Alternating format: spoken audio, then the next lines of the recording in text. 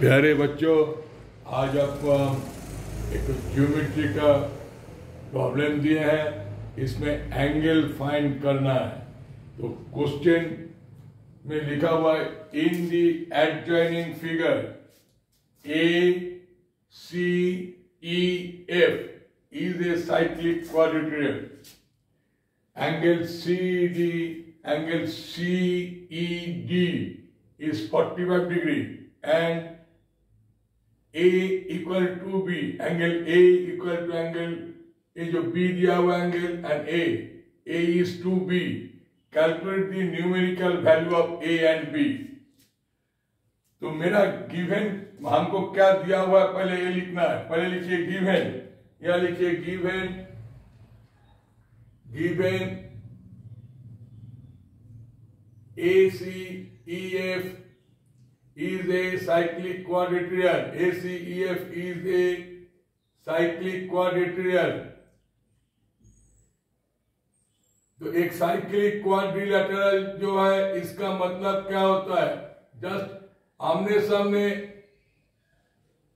आमने सामने एंगल आमने सामने मतलब है this angle angle C plus angle F equal to 180 degree angle A plus angle E equal to 180 degree so cyclic quadrilateral therefore therefore angle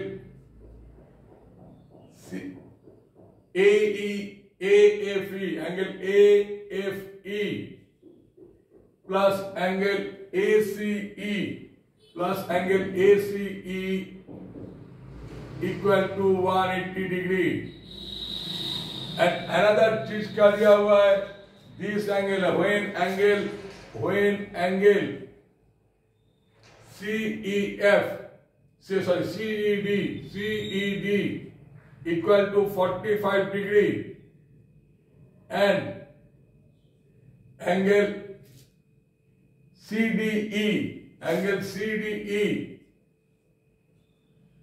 equal to B. Therefore, angle, this angle, angle ACE, therefore angle ACE, therefore angle ACE equal to 45 degree plus B. Why?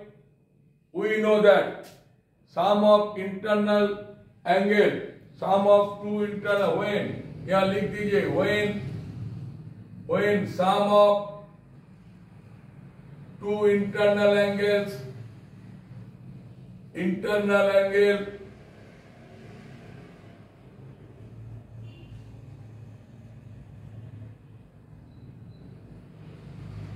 Is equal to is equal to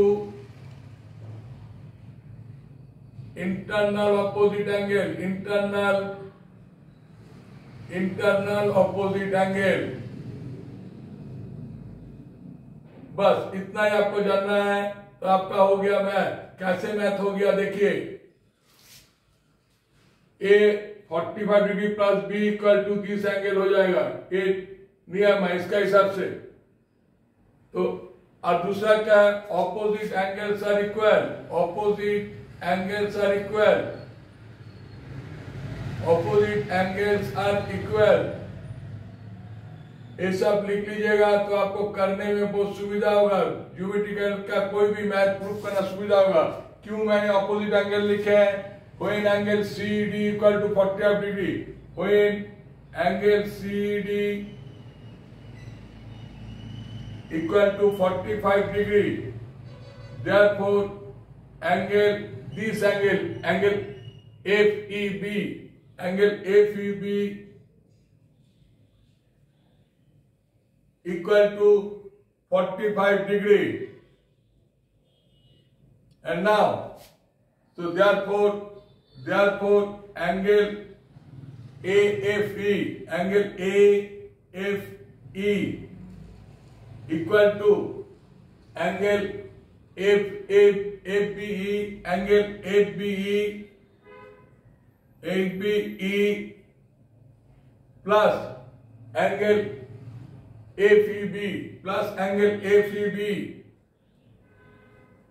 बात वही है कि sum of two internal angle is equal to internal opposite angle this angle A plus forty of degree equal to this angle so F equal to कितना हो जाएगा? Equal to हो जाएगा forty five degree plus A now you see A वाला इसमें बैठा दीजिए angle A F E plus angle A C equal to 180 degree A आपका फिक्स्ड है। साइक्लिक देयरफॉर देयरफॉर लिखिए। 45 degree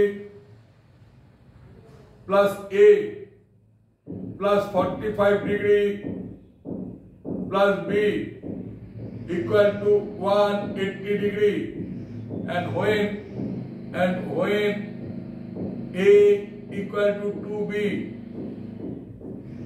Therefore, 45 degree plus 2b plus 45 degree plus b equal to 180 degree. And now you see 180 degree, therefore, therefore 3b, 3b equal to 3b equal to 90 degree 180 minus 90 90 degree. अब यहाँ 180 minus 90 कर लीजिए 90 degree. Therefore therefore B equal to B equal to कितना हो जाएगा आपका? 90 by three यानी 30 degree.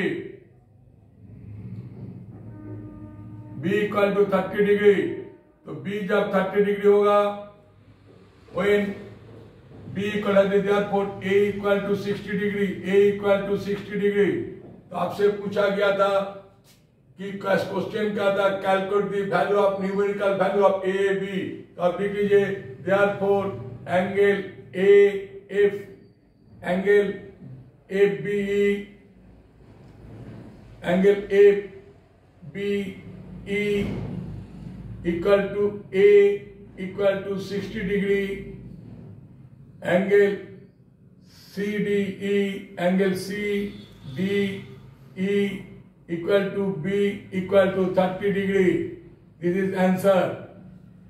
प्यारे बच्चों, मैंने कैसे करके किए हैं? आपने सब देखे हैं। डिटेल्स लिख रहे हैं as per question according to question आप लिखे हैं और धीरे धीरे सॉल्व कर दिए आपको यदि मेरा समझाने का तरीका अच्छा लगे, आप अपना दोस्त में ज़रूर शेयर कीजिएगा। जिन्होंने अभी तक भी सब्सक्राइब नहीं किए प्लीज़ सब्सक्राइब कीजिए। धन्यवाद।